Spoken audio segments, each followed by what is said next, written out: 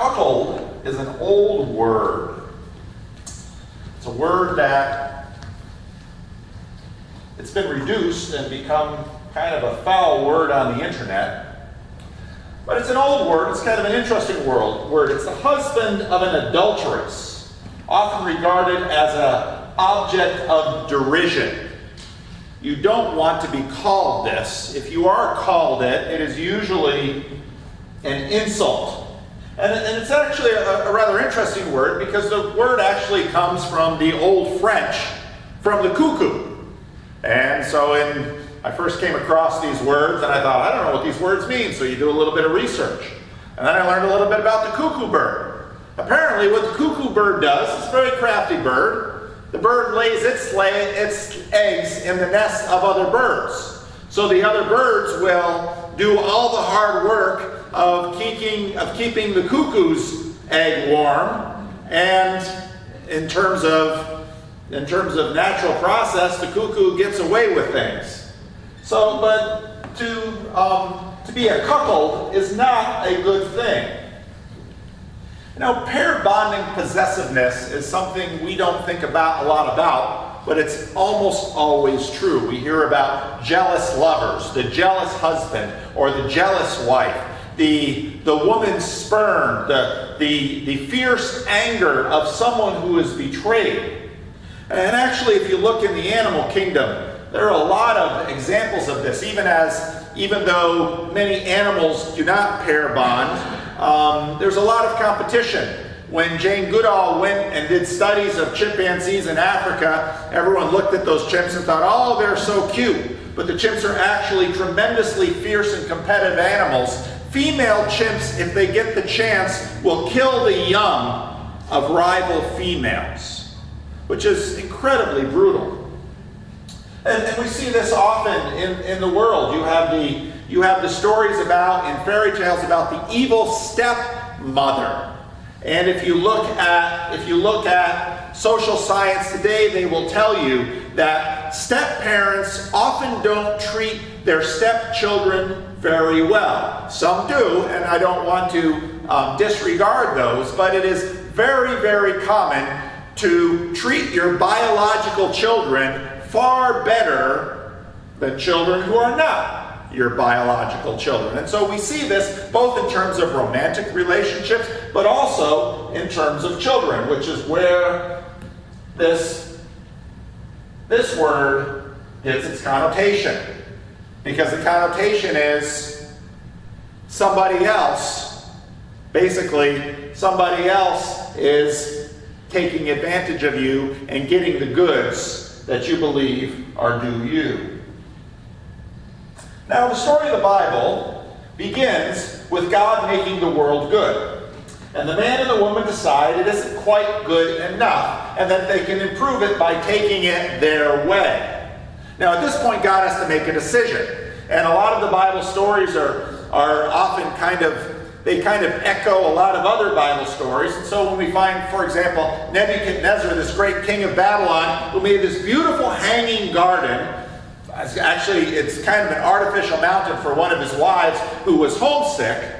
If the gardeners of the Hanging Gardens of Babylon basically said to Nebuchadnezzar, Yeah, king, you got your ideas for the garden, but I'm going to take it my own way. It'd be like hiring a painter to come into your house and you say to the painter, I'd like to paint this room yellow, and you get home at the end of the day and he's painted it red, and you say, I thought I said to paint the, room yellow, and he said, No, I don't care what you think.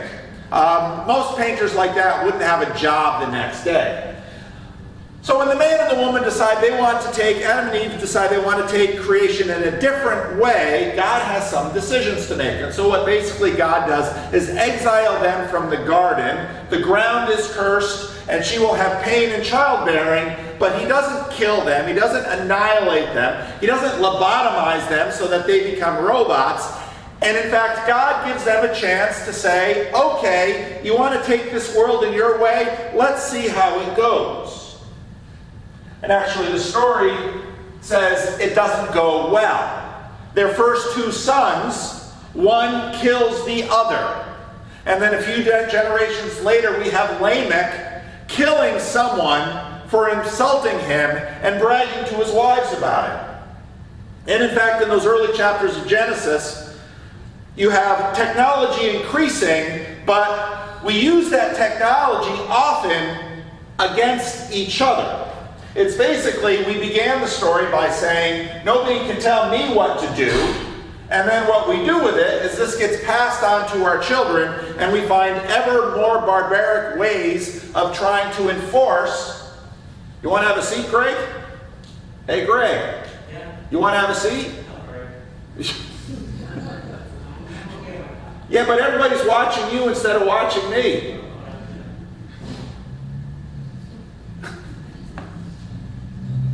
So what we do is we find ever more barbaric ways to try to control one another and get what we want from each other. Now, what God does in this process is, in the early stories of Genesis, there are some new starts. And so what we see before the flood, God looks around and people are so bad to each other. God laments us God laments making us, and so then he decides, well, I'm going to take the very best man in the world, and I'm going to save his family and get rid of all the other people. That's kind of a version of, well, let's save the good people and get rid of the bad people.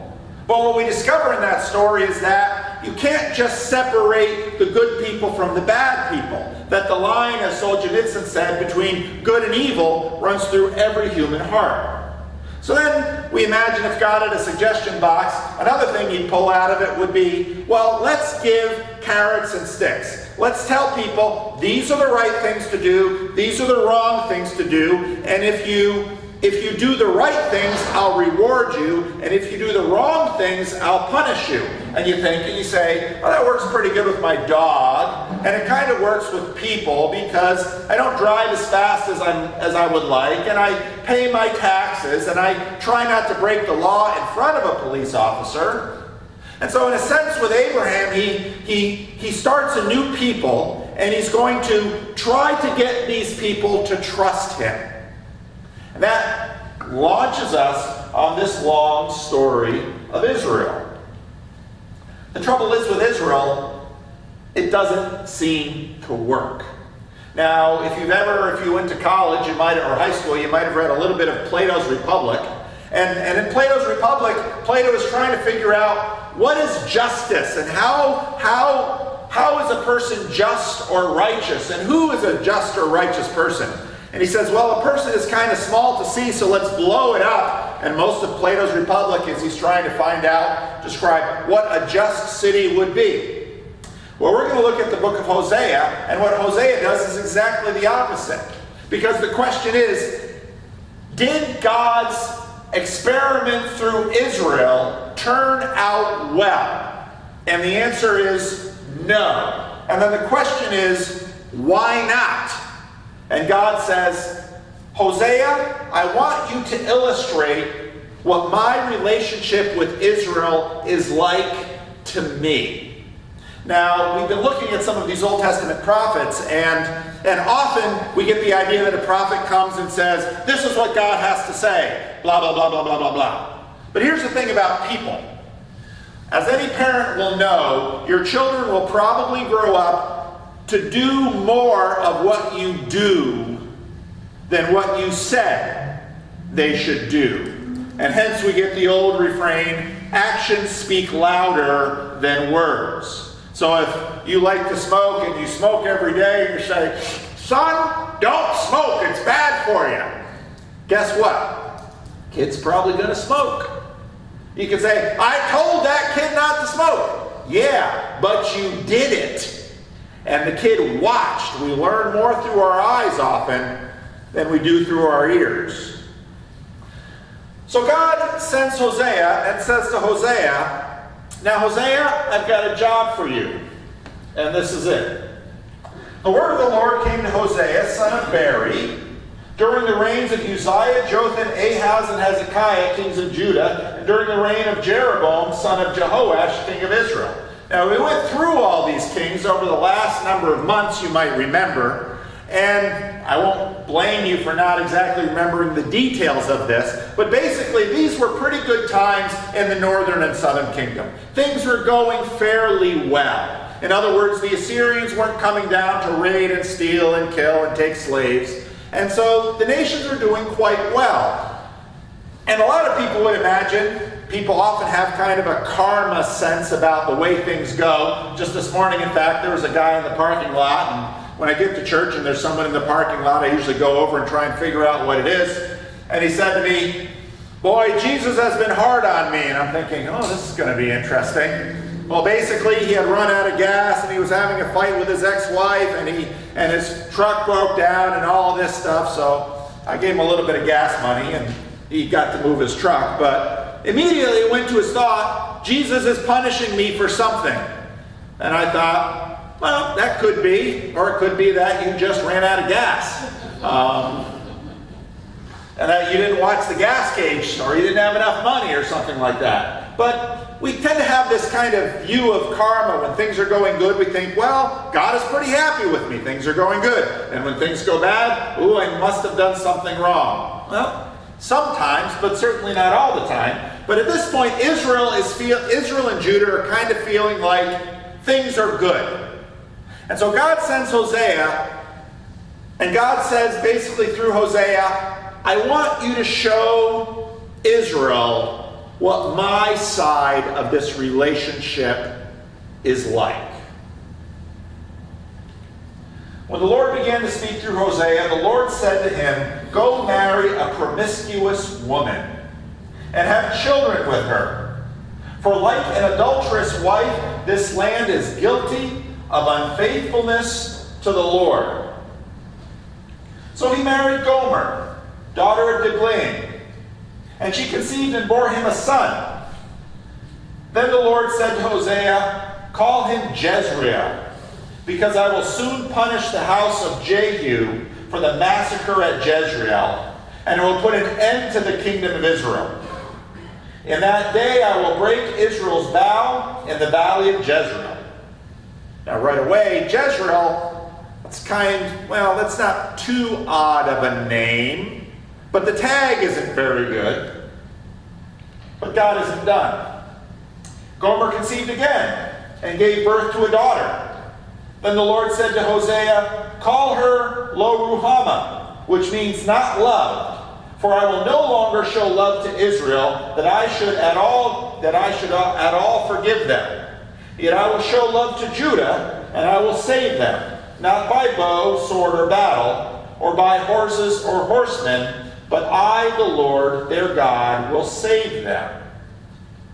Well, then why not give her a nice name instead of not loved? After she had weaned Lo Ruhamah, Gomer had another son. Then the Lord said, Call him Lo Ammi, which means not my people. For you are not my people, and I am not your God. What's going on here? God is divorcing his people. Now, there's a thing called an antinomy. An antinomy is a funny thing because what an antinomy basically means is that you have two ideas that you cannot put together, but you have a sense that they're both true. And what we have in the book of Hosea is, in a sense, an antinomy because, on one hand, what can God do with us if we are such a bad match? Nothing. And so here, God, in a sense, says, I'm done. I'm divorcing you. Goodbye. The brutality and bloodshed that Jehu did in Jezreel, I can't abide. I don't love you anymore. You are not my people. Have you ever had a fight with your spouse? Have you ever said something categorical? I don't love you anymore. I never want to see you again. Did you mean it when you said it? Probably did, or you wouldn't have said it. Two days later, did you mean it then? Or did you come back and say, I said that. I want to take it back. What's God going to do?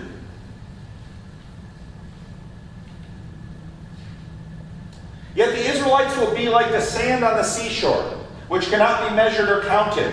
And the place where it was said, You are not my people, they will be called children of the living God. The people of Judah and the people of Israel will come together, and they will appoint one leader and will come up out of the land. For great will be the day of Jezreel. He just flipped it. Say of your brothers, my people, remember the daughter was not loved, and the son was not my people, and of your sisters, my loved ones. But what's happening here through Hosea? The real question is, how can this be done? And then we're going to do another sermon next week on Hosea and Gomer, because here's the way we work. You have a fight. I hate you. I don't love you. I never want to see you again. Time goes past. I'm sorry. I didn't mean it. I want to make up. Patch things up. How's it going to go after that? Hard to know. You've already been to the brink, haven't you? See, Israel is a very bad partner. She's making God look like a dupe. Because everybody in town knows this guy is feeding her, but she's running around with everybody else. And everybody in town is talking. And when those kids show up with their funny names, what does everybody in town think has happened? And whose kids are those? And Hosea is putting a roof over her head and giving her clothes and giving her food, but the cow's giving its milk to every Tom, Dick, or Harry. And everybody knows it. So what does the town think of Hosea? Cuckold. They have other words for him. What will God do? Will he be like the sons of Adam and Eve, who multiplied violence to subdue and enslave his unruly wife? That's an option. Men are usually stronger than women. Beat her. Did you ever watch The Color Purple? Had an unruly wife, right? What was the advice given to the man? Beat her. What will God do? Rebuke your mother, rebuke her, for she is not my wife. We're back to the angry. And I, will, I am not her husband. Let her remove the adulterous look from her face and the unfaithfulness from between her breasts. Otherwise, I will strip her naked and make her as bare as on the day she was born, and I will make her like a desert, turn her into a parched land, and slay her with thirst. God is saying, I give you all of this rain. What do you do? I will not show my love to her children, because they are the children of adultery. Their mother has been unfaithful and has conceived them in disgrace. She said, I will go after my lovers who give me my food and my water and my wool and my linen, my olive oil and my drink. She says, I don't need you, Hosea. Lots of men will give me stuff. Lots of men will put me up. Lots of men will show me kindness. Therefore, I will block her path with thorn bushes, and I will wall her in so that she cannot find her way. What's interesting is that there's a lot of resonance between this and the prodigal son story, where the prodigal son says to the father, I want your stuff, but I don't want you. And the father, to the amazement of the village, says, You can have your inheritance early. And he takes the money and goes to a far off country and he squanders it and he loses all the money and he is reduced to feeding pigs. And when he's feeding pigs, he comes to his senses. But does his heart change? And he says, You know, my father's servants, they never lack food. They have better work than I have. My father's a softy. I'll go back to him and I'll plead and he'll take me back. Now, a lot of you disagree with my reading on the prodigal son, but my justification is this Jesus is talking to the scribes and the Pharisees, and the son of the man goes back with Pharaoh's speech. He quotes Pharaoh, the prodigal son does, when he's feeding the pigs. And he quotes Pharaoh because, you know, when the plague of locusts came, Pharaoh was like, oh, this is horrible. I got to get rid of this. I got to solve this. So call Moses in. And he says, I have sinned against the Lord your God and against you. So then the locusts move on. But after the locusts have gone, guess what happens to Pharaoh? Back to plan A. Back to Hosea. Therefore, I will take away my grain when it ripens, and my new wine when it is ready, and I will take back my wool and my linens intended to cover her naked body.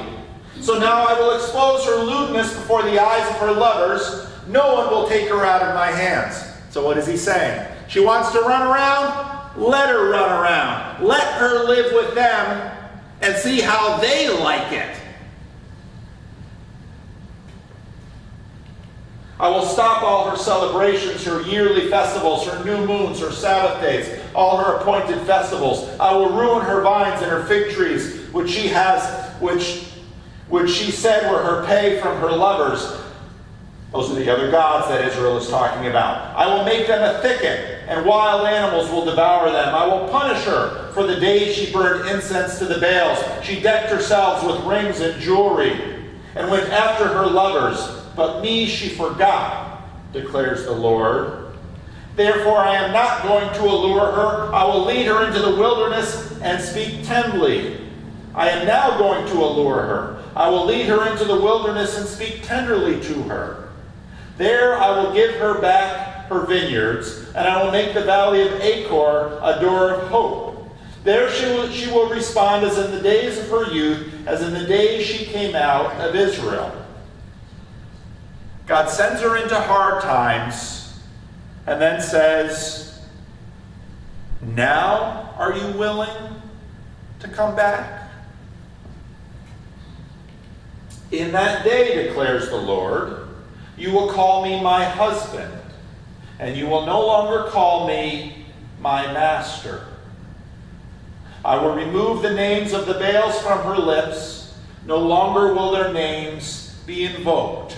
Now, you might see in that day at this moment, and you might remember last week's sermon if you were here, and you might remember that I said something about Judgment Day and the day of the Lord and how that works. And you find this in the Old Testament books again and again in the prophets where, well, you come to Judgment Day. Well, what is Judgment Day? It's when you've had the fight and you've opened up, I was going to say the phone book, we don't use those anymore. You went to Google and you typed in divorce lawyers and you looked at the page and you stopped and you said, Do I want to go here? Do I want to do this? Am I ready to cross that threshold? And then you stop. That's Judgment Day. Judgment Day is God showing up. Now you're sitting across and you're saying, What are we going to do? Are we going to do this? Are we going to make up? And what's it going to cost? See, the problem is we are like Gomer. Implicitly in our minds, we all imagine we have been the one that has been betrayed. But the way the story works, God has been betrayed. We, like the prodigal son and Adam and Eve, want God's stuff, but we don't want Him. We flirt with God, but give ourselves give ourselves to everyone or everything else that catches our eye. We naturally only turn to God when we are in trouble and our resources, are exhausted, and then we give Pharaoh's duplicitous speech. And the question is how can God change us? And the answer is actually the day of the Lord. In that day, because Jesus comes and John the Baptist says, I'm looking for Judgment Day. And Jesus says, Yes, I am bringing Judgment Day, but I'm not bringing Judgment Day on all the people that you call sinners. I am bringing Judgment Day on myself. Because everyone in the town said, that fool Hosea is paying for Gomer's food when all the other men are with her and Hosea says, I will take the hit for this woman. And when this woman, maybe in a moment, sees what love really is, maybe she will turn. The day of the Lord is the day of his presence. It's the storm of Jonah, and it's the coming of the bridegroom. We see it in Matthew when Jesus is on the cross. All of this Old Testament imagery of the day of the Lord is poured into the crucifixion scene in Matthew. From noon until 3 in the afternoon, darkness came over that land. About 3 in the afternoon, Jesus cries out in a loud voice, Eli, Eli, lama sabachthani, which means, My God, my God, why have you forsaken me? How could God forsake his son? How could a bride forsake her husband? The question is, will the husband forsake the bride, and what length will he go to teach her what love really is? And when Jesus had cried out again in a loud voice, he gave up his spirit. At that moment, the curtain of the temple was torn in two from bottom, from top to bottom. The earth shook, the rocks split, and the tombs broke open. The bodies of many holy people who had died were raised to life, and they came out of the tombs after Jesus' resurrection and went into the holy city and appeared to many people. When the centurion and those who were with him were guarding Jesus saw the earthquake and all that had happened, they were terrified and exclaimed, Surely he was the Son of God. Why did those pagans see that? Because people don't forgive the unforgivable. But God is not like us. And then the question remains if we are forgiven the unforgivable, what will we do? Will we keep going and doing what we've done? We're probably going to have a hard time not doing it because we're so used to it. But God says, This is what I'm doing through Jesus and his sacrifice, and this is what I'm doing in your heart. In that day, I will make a covenant for them between the beasts of the field and the birds in the sky and the creatures that move along the ground, bow and sword and battle I will abolish from the land, so that all may lie down in safety. Isn't this what we want? I will betroth you to me forever. I will betroth you in righteousness and justice, in love and compassion. I will betroth you in faithfulness, and you will acknowledge the Lord. You will finally get the relationship you've always longed for. In that day I will respond, declares the Lord. I will respond to the skies, and they will respond to the earth. And the earth will respond to the grain, the new wine, and the olive oil, and they will respond to Jezreel, the first name. I will plant her for myself in the land. I will show my love, the second name to the one I called not my loved one. And I will say to those who are called not my people, You are my people. And they will say, You are my God. The only question is, how will you respond? We are Gomer. Will we keep chasing other lovers? Or will we turn to the one who really loves us? That's the question. Will you still value God only for what you can get out of Him? Will you reciprocate the love He has showed by taking justice and giving you grace? Will you show that grace to God by showing it to the Gomers in your life? Because here's the thing when I'm talking about Gomer, your mind filled with all kinds of people who have done you wrong. They might be your spouse. They might be your kid. They might be your neighbor. They might be your ex. And the question is how will you be to them? Will you be Hosea? Will you be God? Let's pray.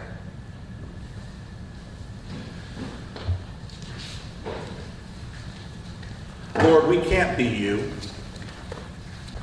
We can only be like you. But Lord, most of the time we're more like Gomer. We're a bad risk. Forgive us, Lord, for the ways we betray. Help us, Lord, to understand